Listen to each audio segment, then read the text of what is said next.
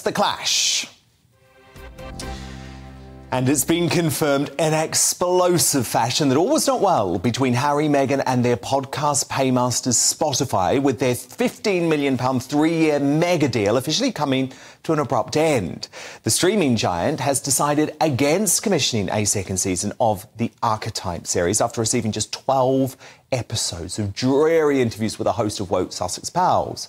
But the real knockout blow came from Spotify executive Bill Simmons in a no holds barred podcast of his own. I'm going to pose this question to you. You you do a lot of business deals, a lot of negotiations. I do. Well, let, let, us just. I wish I had been involved in the Meghan and Harry leave Spotify negotiation.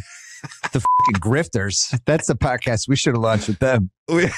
Um, I got to get drunk one night and tell the story of the Zoom I had with Harry to try to help him with a podcast idea. Do it. It's one of my best stories. Do it. so, what do you think? Very simple question. Is Spotify's top exec right to describe Harry and Meghan as effing grifters? By the way, if you don't know what that means, it's an American term which means that you're out to swindle someone, basically. It means you're a small scale swindler.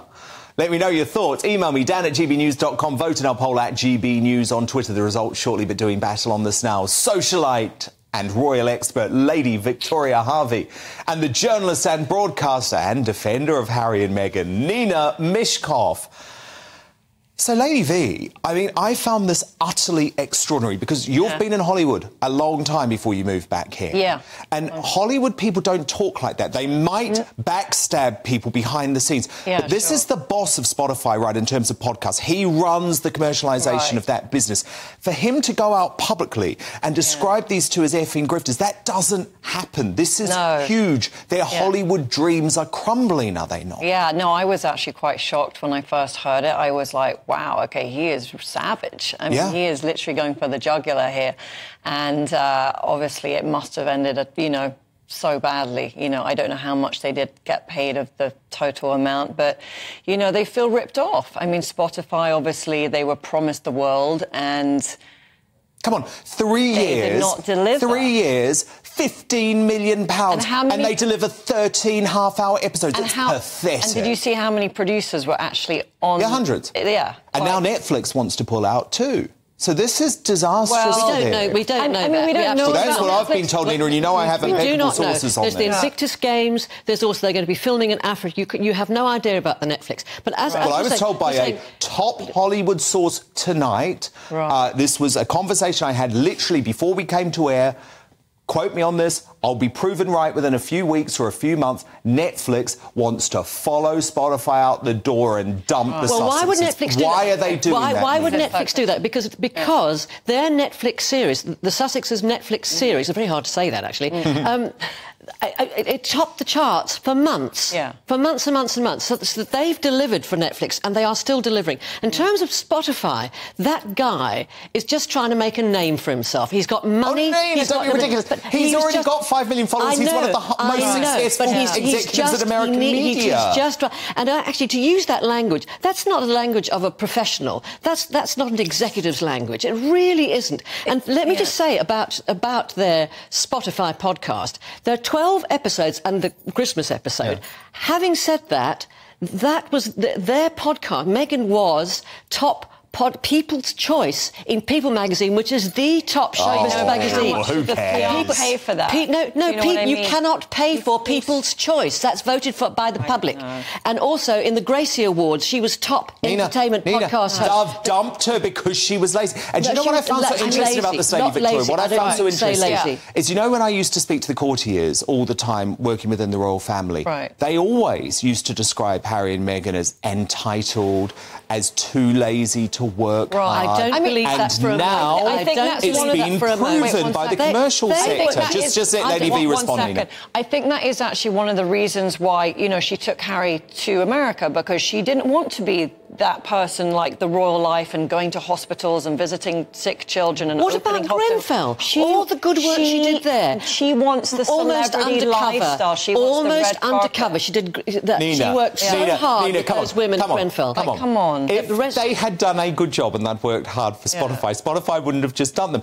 Do you not accept that your heroes, Harry and Meghan, are just allergic to hard work? They are not They're my. They are not. They are not my heroes. But uh, they are not allergic to hard they work. expect I, I, I don't think if you if you looked at what, what Harry has achieved in his life and his hard work in the army, he is not What's a he achieved the past three years since moving He, to Los he is, Angeles? he has achieved a irrelevant. lot. He's achieved. What? What's he, achieved over the past three years? Uh, what about his Invictus game? Still, he, no, no, no, I'm not talking about that. No, He did that when he was in the royal family. No, Nina, but Nina, he's still Nina, doing- name me one achieved- thing that Harry has- has achieved in the past three years A since moving to Hollywood. life.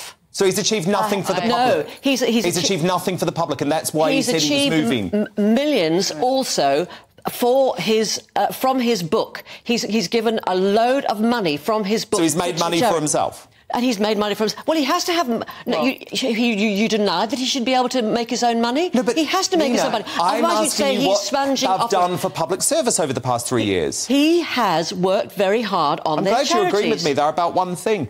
No, not one thing. I don't. moolah, the I- greenback no, Lady okay. V. He has That's to- what this is he- about, Lady no, V. it's Wait, so not. what am I it's saying absolutely here? not. 'Cause she's- And I I have to say, to talk over Okay, each okay, Nina, just, just let Lady V respond. Um, so what do you want me to say on it? Well, haven't they Um, proven they're well, all about the what has money? He, what has he done? I mean, look, he has. Look, okay, although the book, you know, we a lot of people didn't really like the book, but he obviously did make well, money from the book, that- right? you would disagree with Um, millions of people around the world. just It's the dragged biggest him- selling non-fiction book in Okay, history. just let Lady V make yeah, her point. but Nina. she has dragged him into the dirt. You know, people loved Prince Harry. She hasn't dragged him into the dirt. She has And, not. you know, he's Harry just followed has, her into he has it helped, willfully. She has helped him to extricate himself from a toxic situation in this country.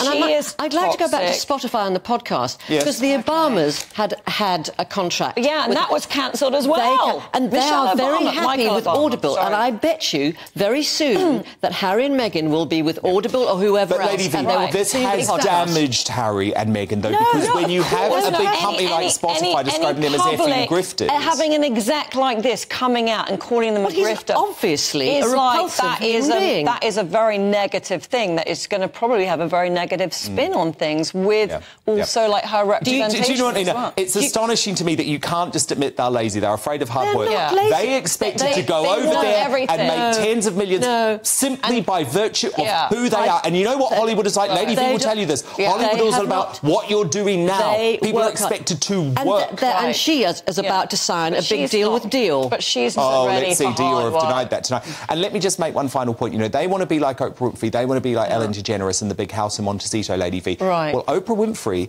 and Ellen DeGeneres worked five days a week Right. on producing the most popular talk show in America. Yeah. In Hollywood, No, you I have agree. to graft Yeah, no, in I order agree to with that. And achieve I, I, your I billions. just, you know, just by seeing, by seeing like uh, their day to day, I don't know, you know, it just seems like they just expect everything and just not putting Yeah. in the work. I don't think I, I completely Yeah. disagree Okay, well, look, that. you've got both sides of the argument there from Nina Myskow and Lady Victoria Hervey. So, who do you agree with? Are Harry and Meghan grifters? Uh, Munro writes, this is via Twitter.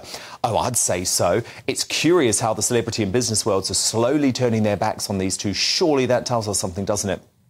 Molam writes, I would say that seems to be an accurate summary. They could, they should call them Harry Hustle and Meghan the Manipulator, the perfect trickster duo. And from Raoul, uh, Meghan was more interested in whining on about herself than engaging actively with her guests. And your verdict is now in. 90% of you agree with that top Spotify executive, Bill Simmons, describing Harry and Meghan as effing grifters. Just 10% of you say they're not. Now,